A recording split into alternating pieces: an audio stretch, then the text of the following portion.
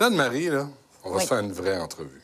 Bon. Hein? T'as as souvent eu des entrevues euh, coquines, où on parlait toujours de cul, Tu parles des entrevues avec toi? entre autres, mais à tout le monde en non, parle, un peu partout, ouais. on- C'est pas lassant un peu? Euh, non, parce que je comprends aussi, euh, je comprends aussi c'est quoi le divertissement, donc ça va. Non, non.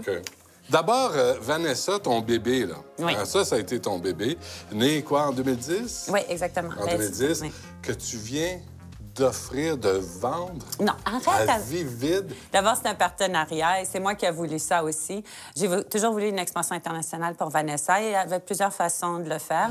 La première chaîne québécoise de divertissement pour adultes fusionne avec Vivid. Qu'est-ce que tu veux dire, de- expansion internationale? là? Tu t'es Mais- fait, t'es fait acheter?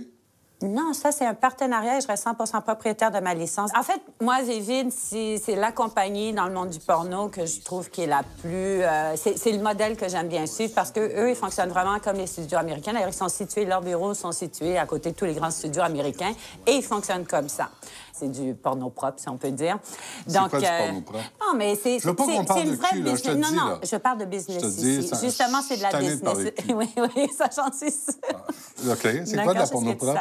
Non, mais c'est de la porno vraiment euh, business, là. C'est pas juste un petit truc euh, crado qui va fermer dans trois semaines. Je veux dire, c'est une vraie business légitime. Mais tu sais qu'il y a des gens qui disent que c'est un échec, euh, Vanessa. Ah, là. les gens, disent toujours ça. On adore dire ça au Québec. Ben oui, c'est ça. Tu crois que Vivid aurait pris un échec? Ben oui, on adore dire ça. J'ai toujours laissé dire ça. Depuis que j'ai ouvert cette chaîne, on dit ça. Ben oui, c'est ça. Puis, Demande à ces mêmes gens, c'est distribué où, Vanessa? Ils ont aucune idée. pourquoi tu t'es lancé dans la porno? Moi, je me suis pas lancée dans la porno, je me suis lancée dans la diffusion. Bon, d'abord dans la production euh, d'émissions qui souvent examinaient le monde de la porno, mais, euh, mais sinon, moi, je suis dans la diffusion. Moi, je rencontre excuse-moi, euh, on va la refaire. La question non. est simple. Pourquoi tu t'es lancé dans la porno? ma vie de tous les jours, c'est un, un rôle de diffuseur. De diffuseur de quoi? Je peux, demain, je peux avoir une, une chaîne de sport, une chaîne Oui, d'horreur, une aujourd'hui, chaîne de météo. une chaîne de fesses. Oui, mais Alors, mon- pourquoi mon- tu t'es lancé là-dedans? Je crois au divertissement pour adultes. J'y crois. Je l'ai toujours dit. J'y crois. Il y, a, il y a le divertissement pour toute la famille. Il y a aussi le divertissement pour adultes. Qu'est-ce que t'aimes une-? Je n'aime absolument rien. J'y crois. Je veux juste comprendre ton intérêt, de- à l'origine, ton intérêt là-dedans. Mais moi, je trouve que je suis à l'époque la plus excitante de diffusion. C'est tout bouge, là, euh, la façon dont on voit les choses, dont on voit les chaînes et tout ça. On est en perpétuelle évolution. Puis c'est ça qui m'excite le plus, pour te dire. C'est pas nécessairement le sujet. Même OK, mais viens-tu de passer à la caisse? Je suis passée un peu à la caisse, mais c'est à long terme que je vais passer à la caisse. Et non seulement ça, bientôt, dans quelques mois, je vais annoncer... euh, J'ai signé deux, euh, deux, deux deals, en fait, OK. américains. Oui. Mais je peux pas parler de l'autre tout de suite, mais c'est énorme Pourquoi? aussi. J'espérais faire T'avais assez choses. produit de films de cul? Non, j'ai jamais produit de film de cul. Qu'est-ce que t'as produit? Arrête. Ben non, mais t'as t'as Mais produit c'est quoi? incroyable. On dirait que tu n'as aucune répondre? idée. Réponds, sacramouille de questions. T'as- Qu'est-ce que t'as produit Mais à part tu ça? sais, c'est quoi produire des films de cul? Je, je sais même pas, il faut faire des tests. J'ai jamais fait ça. J'ai T'as jamais produit de ça. film. Des gens qui Jamais. nous regardent, Mais disent, oui. Anne-Marie Mais Lazic a produit des films de Mais cul. oui, mais j'adore, c'est c'est correct. Est-ce qu'il y a des choses que tu veux pas voir en ondes? Est-ce qu'il y, a- il y a une il y a une limite que tu traces? Un gangbang rough, là. Tu sais, sont 5, 6. Moi, j'ai ça, là. 5, 6 sur une fille, là, sur Oui. une femme. Ça, ça, moi, je, ça ressemble à un viol. J'ai ça. Moi aussi, je déteste ça, mais il faut pas juger non plus. euh, Oui, oui, j'ai le droit de juger. pas-. Non, Comme a- consommateur, voilà. j'ai le droit de juger. Oui, tu as le droit de juger, dire, j'en veux mais... pas chez nous. Oui, tu as le droit. Mais il faut pas que tu juges selon tes propres critères, ton éducation, etc. il faut Euh, aussi... selon quoi? Je te parle quand tu es diffuseur, là. Ouais. Je te parle pas, c'est pas pour moi personnellement. Il y a plein de trucs. que- Moi, de toute façon, je consomme pas de porno. Donc, de toute façon, tu me crois jamais quand je te dis ça. Je suis pas une consommatrice de porno, je l'ai jamais Je été. consomme pas de vin non plus. Oui, non, ça, j'en consomme. OK, j'ai une question vraiment méchante pour toi. OK, vas-y. Tu sais, tout le monde dit Anne-Marie Lozic, c'est une femme d'affaires intelligente qui joue à la niaiseuse. Est-ce que ça se peut que tu sois une Niaiseuse? niaiseuse qui joue à la femme d'affaires intelligente? Peut-être. Quand on voit la vie rurale, puis la minute blonde, tu dis, c'est possible. Ah, peut-être. Lorsque tu plonges, tu dois éviter de faire éclabousser l'eau autant que possible. Tu dois être moins bon qu'on le croit. Quand tu plonges, les filles se retrouvent toutes mouillées. Jamais je dirais de moi-même je suis intelligente. De toute façon, tu m'entendras jamais dire ça. Moi, je crois, je crois pas que je suis une niaiseuse, mais je suis pas non plus suprêmement intelligente. Euh, mais j'aspire à toujours être de plus en plus intelligente. Je crois que ça se développe aussi euh, avec les années. Donc, euh, et je crois qu'il y a juste les cons qui croient qu'ils sont suprêmement intelligents. De toute façon, ils sont très dangereux ceux-là. C'est quoi le personnage? Parce que t'as joué la niaiseuse? Non, mais t'as joué la pétasse, là. t'as joué la- la- tu sais, avec Ben, les... C'est très relaxant faire ça. Puis c'est une espèce. euh, C'est vrai relaxant? Mm. que. Oui, c'est relaxant. non, mais c'est vrai. Je perds mes seins. non, je vais le remettre. Le remets-le, remets-le. J'espère C'est qu'ils sont fait. égaux maintenant. Oh, attends. OK, oui, ça va. Il est vrai qu'il y a une espèce de personnage qui a été créé, pas par moi, au fait. Et je l'ai laissé créer parce que finalement, ça a bien fait mon affaire. Parce qu'il n'y a, il pas meilleur carapace que, que ce personnage. Je révèle très peu sur moi, en fait. Ouais. Et même dans ma vie privée, ça m'est souvent reproché. Euh, mais je suis comme ça. Mais pourquoi toujours le cul en... en- le Ben, sexe, la vie rurale, la- c'était pas le cul, là, arrête. Image?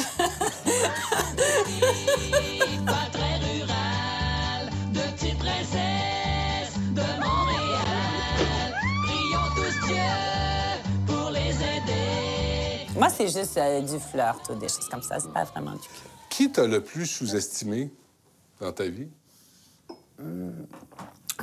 Sûrement plein de gens, mais franchement, je m'en balance un peu et ça, c'est vraiment. C'est vraiment C'est réel ce que je te C'est dis. impossible. Ah, ah. Moi, on me dit que t'as t'as pas d'amis de femmes. Que les femmes veulent pas être amies avec toi. Non, c'est pas vrai, en fait. Pourquoi, pourquoi j'entends ça?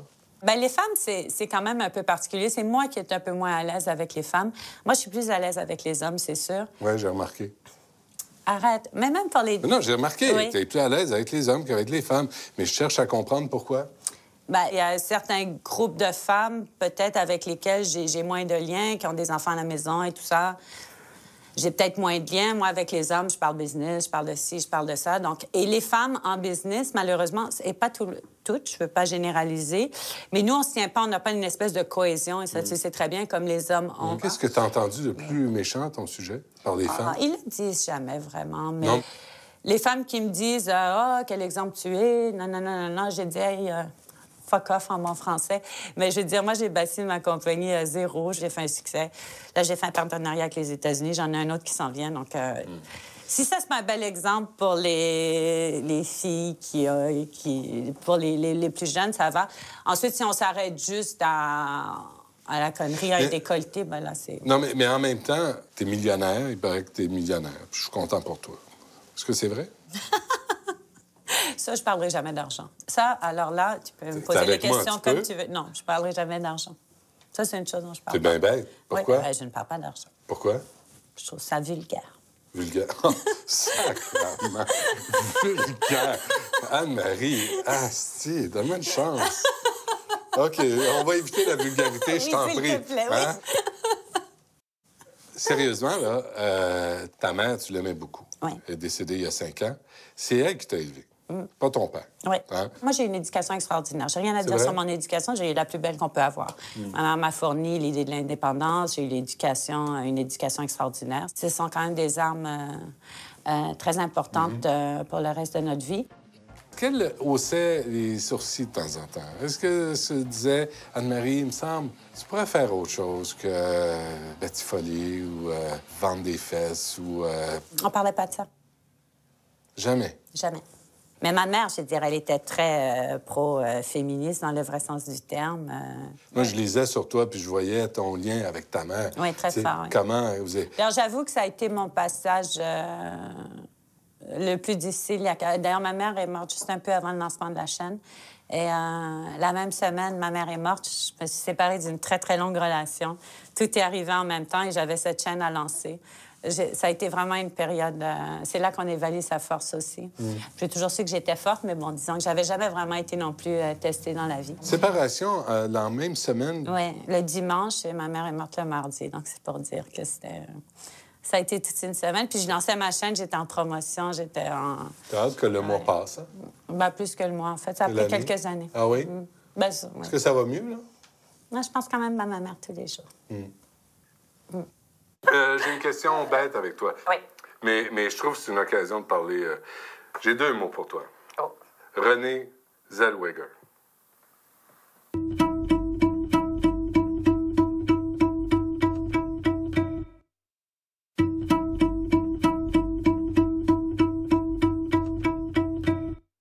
On sait que l'industrie du sexe OK. peut exploiter les femmes.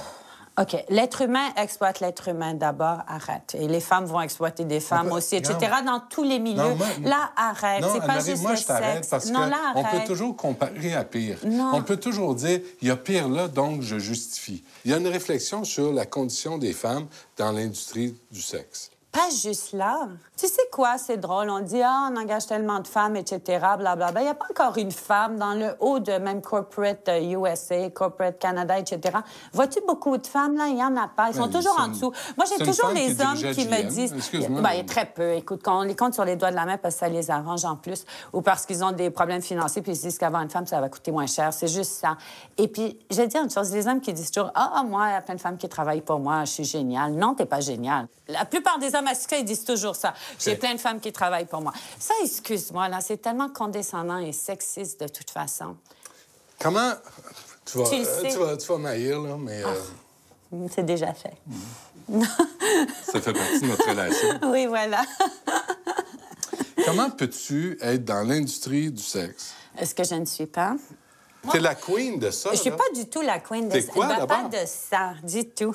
Je crois que c'est juste parce que je suis une femme que tu me parles comme ça. Penses-tu? Oui. Je suis à la tête d'une chaîne. au- Je suis à la tête d'une chaîne de télévision et tu me parles que de ça. Je trouve ça Et tu quand même penses- extrêmement. Je Et, ça et honnêtement, là, tu penses que je poserais Moi, pas tu la même question euh, si t'étais un homme? Ouais, non, je crois pas. Je crois pas que tu insisterais Ah, tu ferais- toujours à tu ce point-là. Non, je crois pas. Tu fais erreur. Non. Tu sais, t'es dans, quelle- vraiment... t'es dans quelle industrie là-bas? Ben, pour l'instant, je suis dans l'industrie de la diffusion. Avant, j'étais dans la production Diffusion télévisuelle. de quoi? Anne-Marie, moi. Quelqu'un est propriétaire d'une chaîne météo. Oui, Et dans quelle industrie pour toi? de la météo. Ah oui.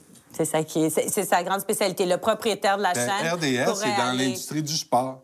Je pourrais aller devenir euh, PDG de n'importe quelle autre chaîne. Est-ce que c'est ça Mais j'ai pas envie. Non, absolument pas. Ça m'intéresse pas. Ta compagnie pourrait euh, présenter 24 heures par jour des souliers. Hmm. Puis ça présenterait aucune différence pour toi. Dans, dans mon travail de tous les jours, non, absolument pas, en fait. La mon travail, c'est aller assurer la distribution de cette chaîne en Canada anglais. J'étais à Toronto hier. C'est d'aller rencontrer, je ne vais pas les nommer, mais tous les grands euh, télédistributeurs. C'est ça mon boulot. D'aller les convaincre de prendre la chaîne, de décider du pourcentage qu'ils vont garder, que je vais garder, etc. C'est ça mon boulot. D'accord. J'ai bâti un super réseau euh, de distribution sur le marché francophone, sur le marché anglophone. On est la mais- seule chaîne québécoise Oui. qui est d'ailleurs distribuée à travers le Canada sur les marchés francophones et anglophones, en tant que chaîne française, en tant que chaîne anglaise. Mais ça, on n'en parle jamais. Mais tu as fait un calendrier, tu as fait des photos. t'avais- Calendrier, c'était pour la promotion de ma chaîne. Parce que moi, Ben mon oui, mais- travail, est- je suis intrinsèquement liée Hey, avec mon voir ton travail. site, Anne-Marie, là. Ah, Et c'est- ah, tu as absolument rien. Euh, J'ai vu une paire de gros seins là-dessus. Arrête! Mais c'est de l'humour. C'est parce que tu comprends pas mon humour. Écoute bien la prochaine question, tu vas être fier de moi. Ouf, finalement. Écoute ça. On vit une période trouble au Québec. Oh. Puis euh, je m'en venais ici faire l'entrevue, je me dis, parler de, tu sais, Anne-Marie Lozic, à un moment où il y a une crise nationale, sécurité, euh, les extrémistes religieux, et je me dis, ce que toi tu fais dans la vie, c'est proba- probablement la chose la plus détestée au monde par les intégristes religieux. Mon Dieu, t'as fait toute une pirouette pour... Euh... Ouh, j'applaudis. Merci beaucoup. Viens pas dire qu'il n'y a pas un effort de préparation. Oh là là! Là, j'avoue, je suis bouche bée, c'est rare. Écoute, quel détour. Et la question était... Je ne sais pas. Mais je trouve C'est juste un propos. Non, mais je... OK, je peux-tu être... euh, J'ai une question bête avec toi. Oui. Mais, mais je trouve que c'est une occasion de parler... euh, J'ai deux mots pour toi. Oh. René Zellweger. T'as vu ses photos? Oui, La chirurgie esthétique? On la reconnaît plus. oui. Anne-Marie, t'as changé un petit peu depuis quelques temps. Mais pourtant, on me reconnaît beaucoup. Mais euh, veux-tu en parler ou tu veux pas en parler? Pas particulièrement. Pourquoi? Qu'est-ce que tu veux que je dise là-dessus?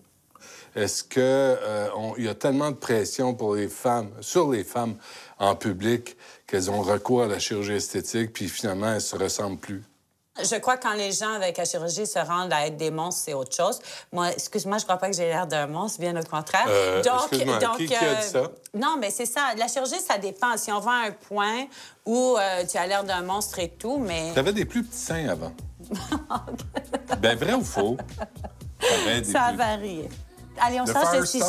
Tu, tu vas avoir une vraie entrevue et tu parles de conneries. Pourquoi Non, on pas parle pas de. conneries. Non, Ben, tu veux savoir quand j'ai esthétique, fait mes sangles? j'ai l'impression d'avoir une conversation avec une carpette.